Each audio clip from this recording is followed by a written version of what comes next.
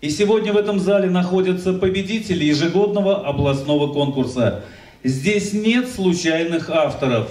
Стихия – это страшная вещь. Я это вот узнал на себе за 50 лет жизни, я впервые попал на пожар. Я вам говорю, это страшно.